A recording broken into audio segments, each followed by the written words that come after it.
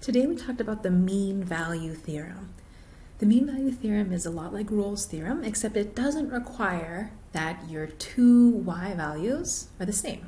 So you have some a and b on the x-axis, some x equals a, x equals b, let's say a is smaller, and you have a function that's continuous and differentiable, then we know that if we take the average rate of change, that's given by this function, there's some point between a and b where the instantaneous rate of change is exactly the same as the average rate of change.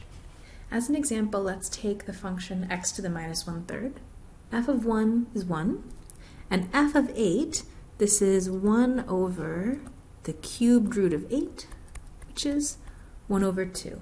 Now between 1 and 8, this function is continuous and it's differentiable, so the mean value theorem tells us that there exists some c between 1 and 8 with the following property, that the derivative at that value is exactly equal to the average rate of change of the function from 1 all the way to 8.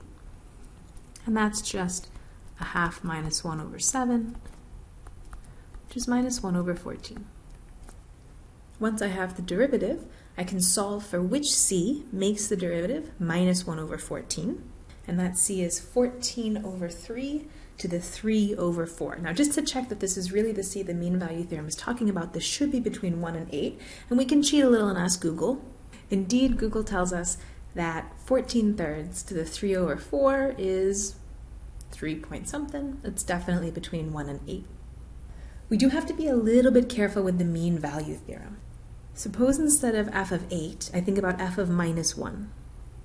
This is 1 over the cube root of minus 1, which is going to be minus 1. And if I try to apply the mean value theorem, it'll tell me there's some c between minus 1 and 1, so that the derivative of my function is equal to f of 1 minus f of minus 1 over 1 minus minus 1, because this is the average rate of change, and this would give us 1.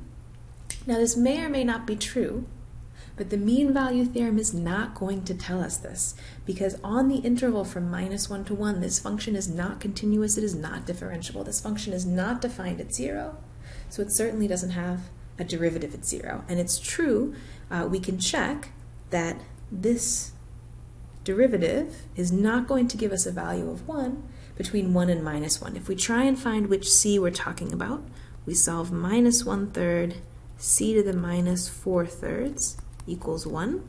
And we run into a problem because c to the 4 thirds is going to be a non-negative number. It can't be negative because it's the cube root of c raised to the power 4 and anything raised to the power 4 won't be negative so this can never be 1 third.